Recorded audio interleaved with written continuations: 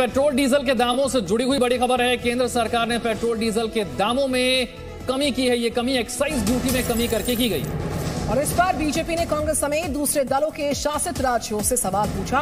BJP प्रवक्ता शहजाद पूनावाला ने कहा, हमारी सरकार ने राह दे दी है तो विपक्ष के राज्य कब जाकर तेल के दामों में कमी कर पाएँगे?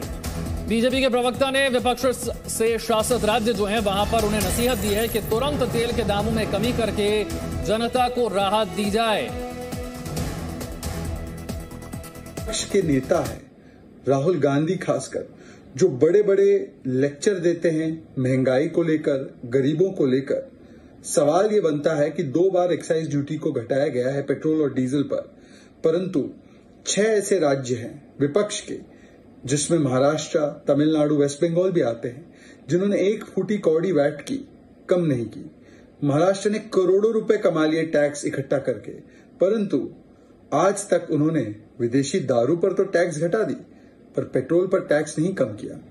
ऐसा क्यों है कि महाराष्ट्र में 120 रुपया प्रति लीटर मुंबई में एक लीटर पेट्रोल का, राजस्थान में 118 रुपए लीटर, परंतु उत्तराखंड और उत्तर प्रदेश में ये 15 से 16 रुपए कम है। इसका मतलब ये है कि भारतीय जनता पार्टी के राज्य इस पूरे राहत को जनता तक मिलने देते हैं, जनता को देते हैं। इसका लाभ जनता को होने देते हैं। परंतु महाराष्ट्र और जहाँ पर कांग्रेस या उनकी विचारधारा वाली सरकारें हैं, ये बातें बड़ी बड़ी करते हैं, परंतु उन्होंने ना वैट घटाया है, न महँगाई से कोई राहत दे पा रहे हैं।